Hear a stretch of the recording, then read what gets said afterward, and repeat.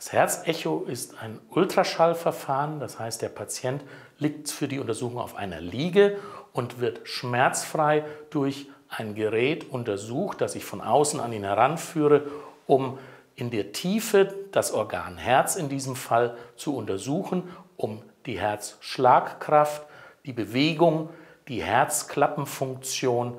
und die entsprechenden Größen der Herzkammern zu beurteilen. Dieses Verfahren ist schmerzfrei und kann auch um weitere Verfahren wie Stress-Echokardiographie oder eine ösophageale Echokardiographie erweitert werden.